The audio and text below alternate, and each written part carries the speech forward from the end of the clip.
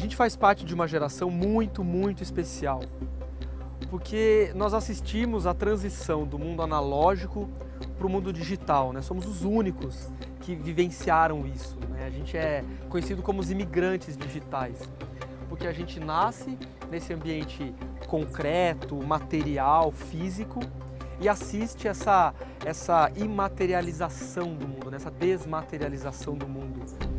Então a gente tem algo especial aí, né? a gente tem um material a ser trabalhado como designer e como arquiteto. Né? Essa reflexão tem que ser feita.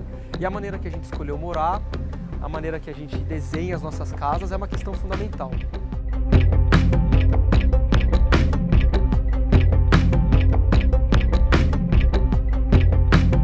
falar de cultura digital não é falar só para gente rica. Da mesma maneira que falar de design não é falar de design de luxo, né? A, a essência do design é, é resolver problemas, é deixar o nosso mundo melhor, deixar nossas casas melhores, nossos escritórios melhores, nossa cidade melhor. Isso é o papel fundamental do design. Eu acho, inclusive, que se é bonito ou se não é, nem é uma questão contemporânea. Os nossos filhos, eles vão dar muita risada, né? Nossos netos vão dar muita risada. Quando eles souberem que a gente acessava o ciberespaço por uma interface como essa, né? Um, é um computador, é, bi, é uma tela bidimensional, né? Um, um monitor bidimensional e um teclado. É, isso é pré-histórico, né? Eles vão dar muita risada quando eles souberem que era assim que a gente acessava. Porque o que a gente assiste, o que a gente vai assistir nos próximos anos, são novas interfaces.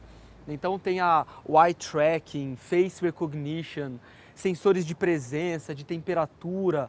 Então vai ter um diálogo mediatizado de uma outra maneira. Tem alguns autores que falam que, que afirmam né, que já somos todos ciborgues. Claro, quando a gente fala de ciborgue já vem aquele imaginário hollywoodiano, do Robocop, o homem-robô. É, é um pouco isso, mas não é isso. Na verdade, cultura ciborgue, ela fala, ela tem dois pilares fundamentais de um lado, a cultura protética, né, cultura das próteses. Então, cada vez mais a gente com é, hibridado com essas tecnologias, né, macapasso, olho biônico, perna mecânica. O submarino é uma prótese. Ele leva o teu corpo para o fundo do, do oceano. Ou o microscópio, não deixa de ser uma prótese. Ele faz você olhar para dentro do próprio organismo. O telescópio, ele amplia o teu olho para as estrelas. Então, de um lado, essa cultura protética, e do outro, a chamada humanização das máquinas. Né? As máquinas ficando mais amigáveis, mais fáceis da gente dialogar com elas. Então, é desses dois pilares que surge essa chamada cultura ciborgue. As novas tecnologias, elas também trazem uma, um momento interessante que é um borramento assim entre o público e o privado. A gente tem uma dificuldade maior hoje em dia de definir com, com clareza o que é público e o que é privado. Então, por exemplo, o telefone celular. Né? Quantas vezes a gente já não presenciou alguém próximo da gente no ônibus, no shopping, no restaurante, discutindo relacionamento, gritando, brigando com alguém no telefone. É como se esse aparelhinho trouxesse um casulo de privacidade, né? ele te fechasse numa instância privada em plena cidade. O oposto dessa situação seria a gente pensar num computador dentro do meu quarto ou num tablet.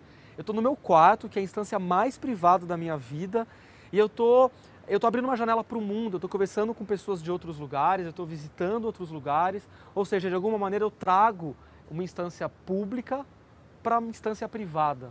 A noção que a gente tem de lar, ela não está mais apenas no espaço físico. Até bem pouco tempo atrás, o lar ele era associado à nossa casa, né? Minha casa, meu lar. Parece que essa, é, o nosso, o habitar, a sensação do habitar, ele se expandiu né, para territorialidades muito mais simbólicas.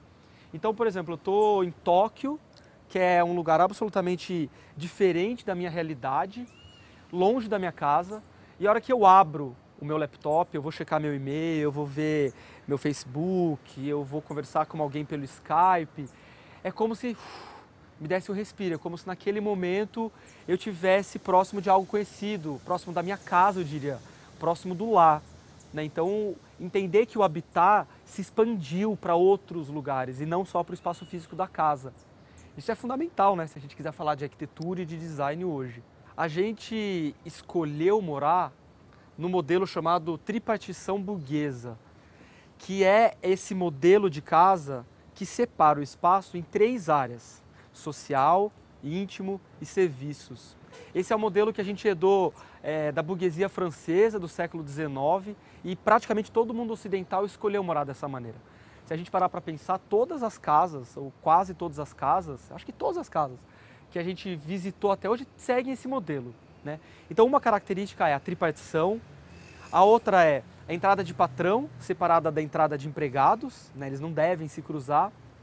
Esse modelo de casa também ele é sempre compartimentado, né? então cômodos funcionais, né? sala de TV, quarto para dormir, sala de jantar, cozinha, né? como se a gente conseguisse viver dessa maneira compartimentada.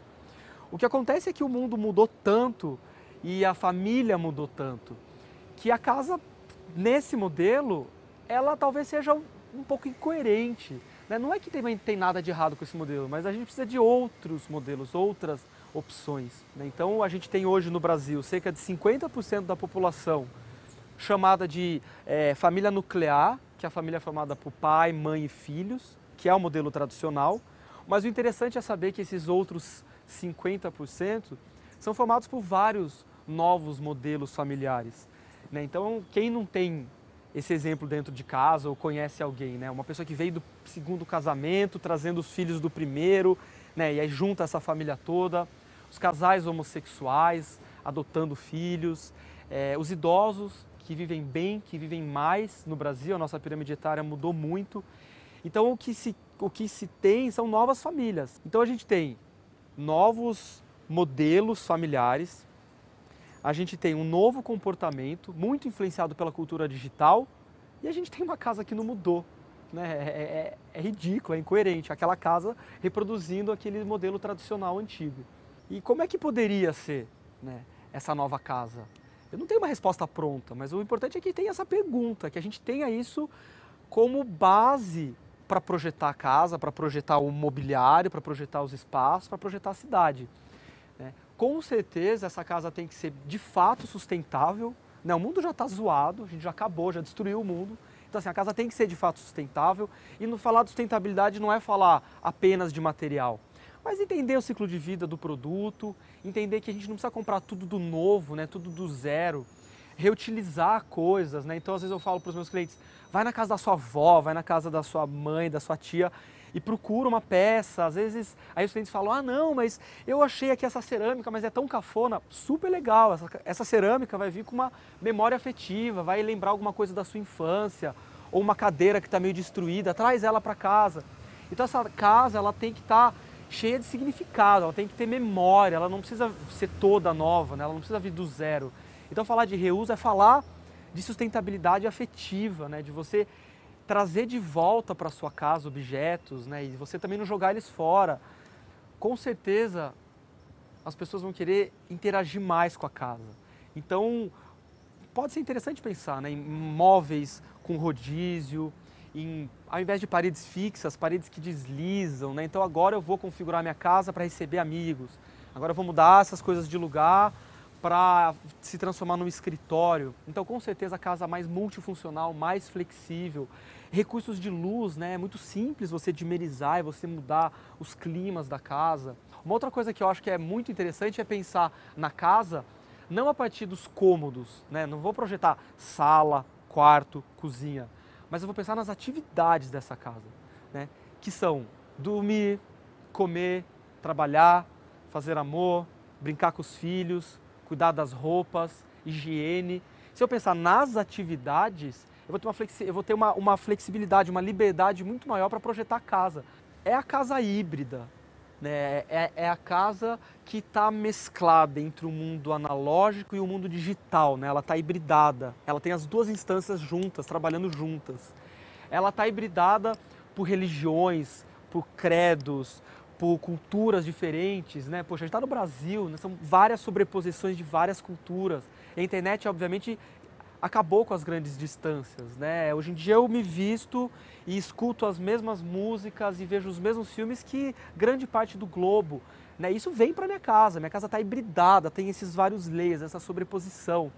É a casa híbrida de passado, né? Da, das memórias, dos objetos que eu trouxe do meu passado com o futuro. Né? Então, é, o futuro ele não é aquela coisa minimalista, branca, Jetsons que a gente imaginava. Eu acho que o futuro ele é muito mais aconchegante, ele está muito mais preso nos valores da família, da história, da identidade, da cultura. Eu acredito que os nossos clientes, que os moradores agora já querem mudar, redimensionar, reconfigurar a sua casa. E é, e é riquíssimo né, você dar para o cliente a possibilidade de ser co-designer, de ser coautor do projeto. Né? Então a gente fala de design adaptativo, design aberto. Né? É, o futuro chegou. Os arquitetos, os designers não podem mais projetar uma casa estanque. Não, ele tem que dar esse, essa, essa, esse modelo aberto, né, reconfigurável para o cliente. Então fica essa questão, né? A casa do futuro é agora, né? E como é essa casa? O que, que é essa casa híbrida? Chegou a hora da gente pensar nessa, nesse redesenho, né? Que é urgente e que se faz mais do que necessário para a nova casa, para a nova sociedade.